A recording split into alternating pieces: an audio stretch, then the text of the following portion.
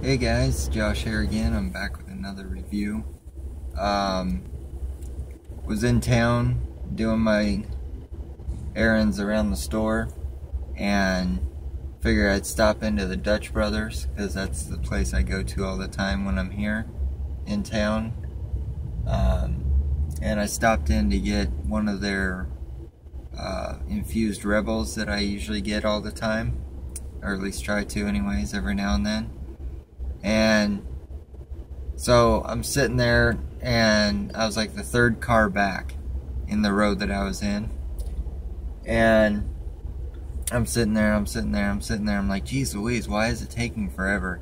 Finally, I get up there and I, I order what I wanted to get, which I ended up getting a Coconut Rebel, a 24 ounce Coconut Rebel. And they went ahead and, you know, they made it and stuff. Then the lady brings it out to me, uh, to the window, and gives it to me. And I was like, alright, well, how much is it? And she's like, don't worry about it, it's on the house. And I was like, you're kidding, right? And she's like, no, I'm not kidding.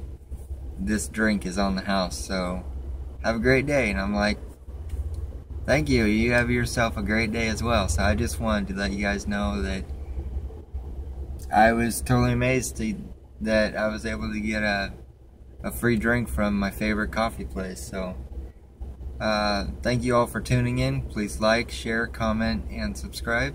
And I'll see you in the next video. This is the Sorrel Soul Original Reloaded signing off. Have a great day.